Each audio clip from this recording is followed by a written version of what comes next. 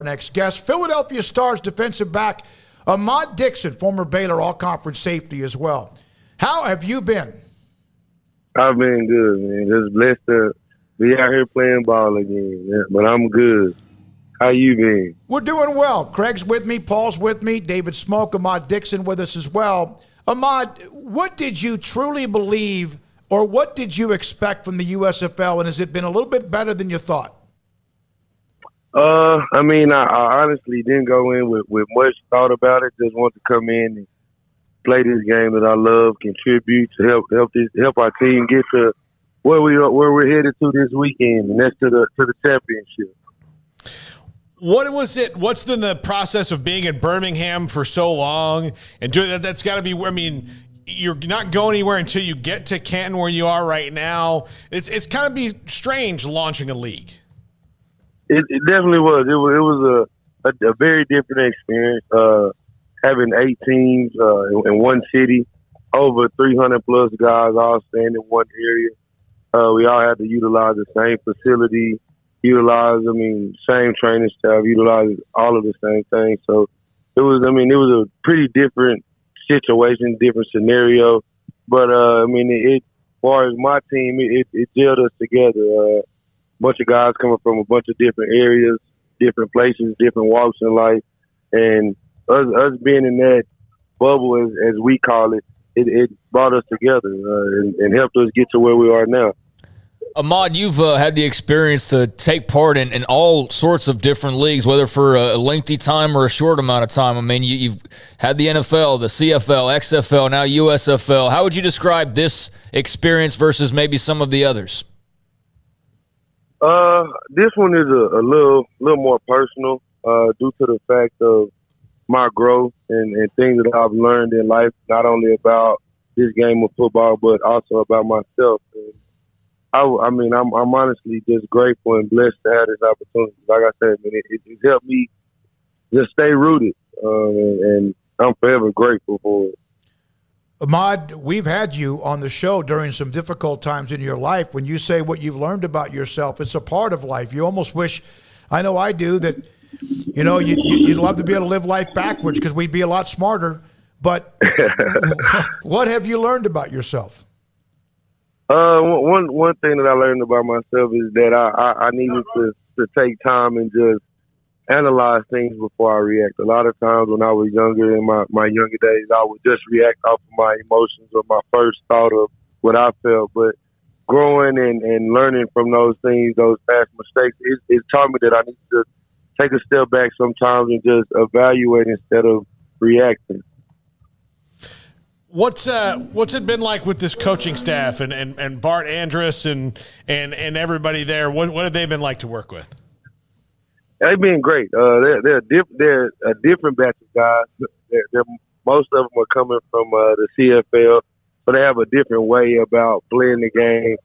But I mean, they're they're a great staff. I mean, those guys have, have helped us tremendously, and I mean, they're they're players, coaches. Um, they they do a good job of hearing our voice and, and, and helping us do whatever we need and, and assisting us in whatever we need. And honestly, I wouldn't, I would honestly wouldn't want to play for any other group of coaches than these guys here with the Stars.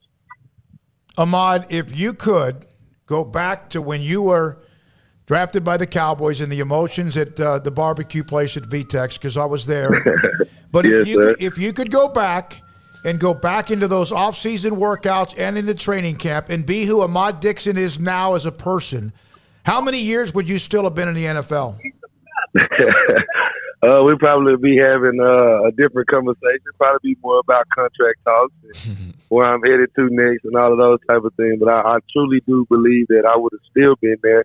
But like I said, everything happens for a reason, and mm-hmm. I wouldn't I wouldn't trade it. I wouldn't trade it for the world. I mean, I was blessed with great people, a great support system, all of that. Uh, I have my, my kids. I mean, a lot of things that has changed, has transpired and from that time to now that I'm, I'm very grateful for. But if I could go back and, and do that all over again, I will I would definitely take a totally different approach to it.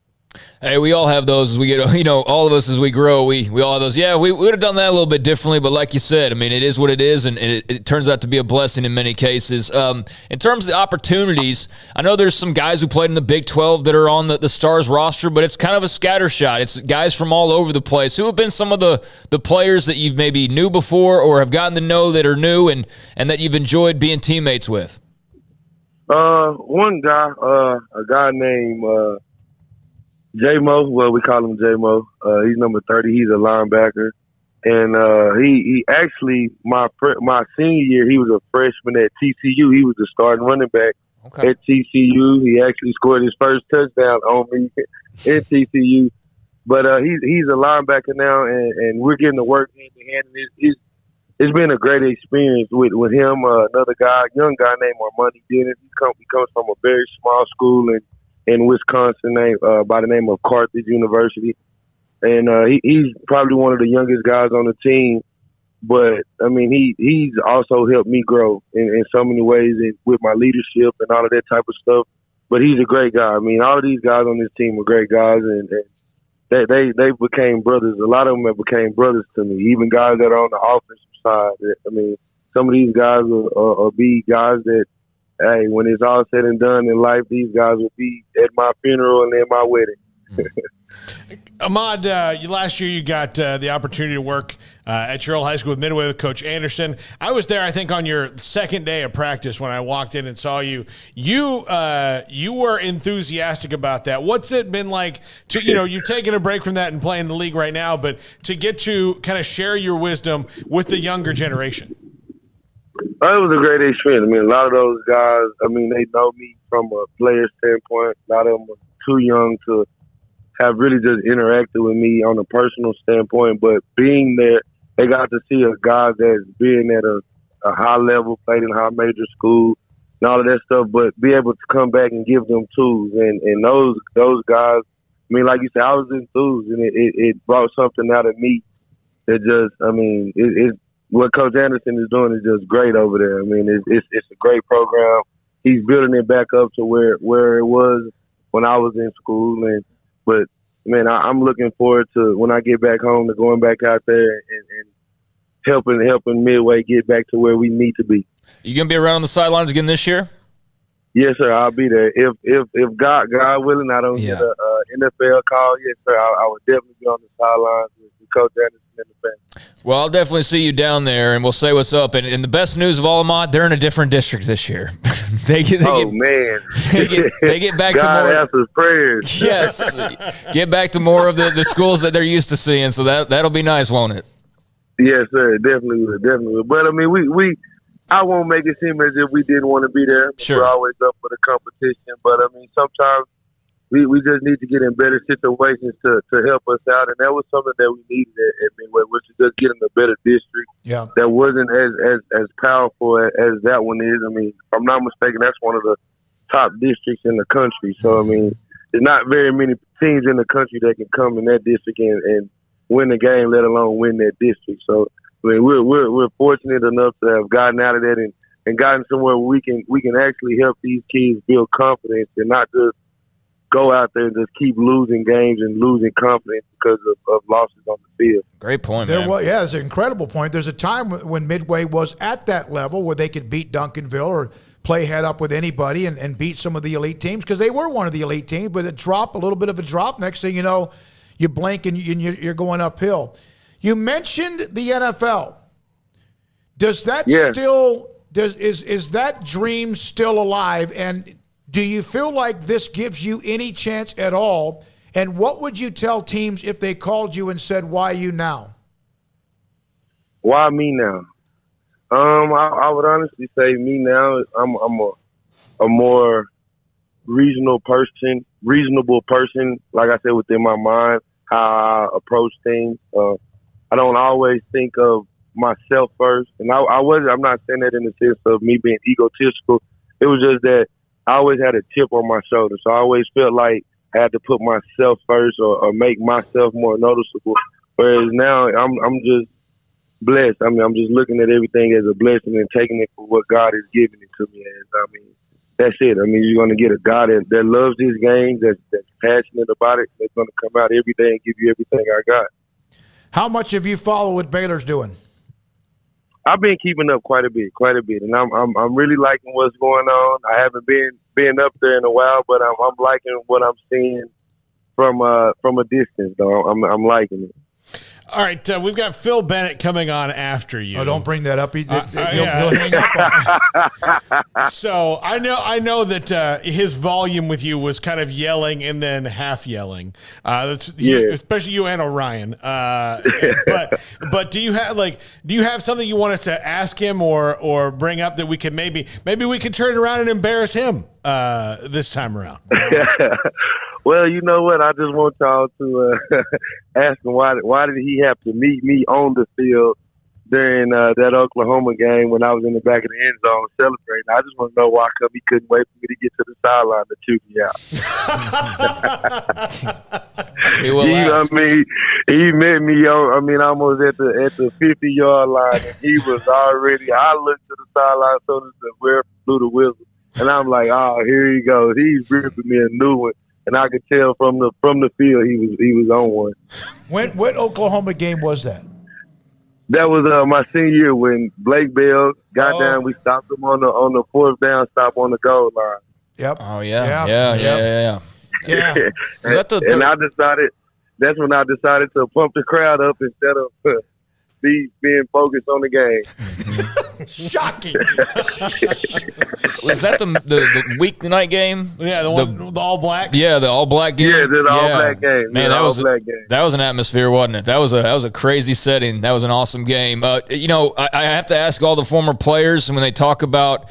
You know, you just referred to to the current program, but where were you uh, during the Big Twelve championship? Were you able to watch that live? And if so, what were your thoughts on that goal line stand? Man, I, I watched that whole game from start to finish, and, and, and that play that was made. If I'm not number 25 is the one who made that play. If I'm not mistaken, man, it was it was just a beauty to see. Man, I I, I couldn't do nothing but just scream and jump with, with joy. I mean, not only have have the players of Baylor, but Baylor University as a school, as an institution, has went through so much within these past couple of years, and, and to see things getting back where they where they need to be, where they should be. I mean, it's it's great to see, and, and I'm I'm I'm really ready to see what what's in store for Baylor University. All right, give us a scouting report. You're playing Birmingham. It's Philadelphia, Birmingham. They were also elite back in the day when the USFL first started. When it was on, it was still you know playing for just a, a, a couple of years or so. Uh, your thoughts? You guys are kind of a surprise team, right? I don't know how much uh, the expectations. I'm not sure how anyone could really tell because it's so new. But what about Birmingham? Uh, to be honest with you, Birmingham is a, a good team. They're they're they're a sound team. They make very very little mistakes, and the way you beat them is, is by you you not making mistakes and you making them have mistakes. And if you go out there and you just try to play an even football game, they're a good enough team to just beat you with neither team making a mistake. So it's almost like you have to play a perfect game. I mean, their coaches are good coaches. They do a good job of, of breaking down film and knowing what, what the opponents are doing. But, I mean, to be honest with you, it's not really about them. It's about us. We have to go out there and execute and, and do what we know we can do and play the game that we play and, and execute what coach calls. Ahmad, uh, good luck, and I, I hope this does lead to something else. Although it's great that you're getting a chance to play in that championship game for Philadelphia against Birmingham, it is always great to talk to you. It's also, as someone, all of us in different ages, it's also great that you're learning about life and learning about how things happen and what you learn from that. Sometimes we do, sometimes we don't, but it's been great to watch you grow up. Yes, sir. Thank you. Thank you. Now, I thank you for being there through the whole whole way through.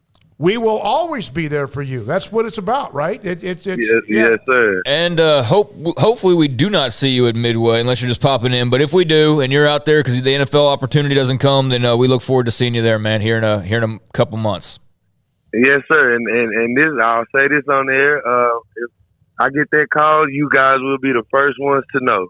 Wow. Thank you, Ahmad. We love that. We have seen you dance in celebration, uh, enjoy championship moments, and we've also seen you in tears in many ways from joy and also sadness and coming back. Thank you, man. We appreciate you. Ahmad, good luck.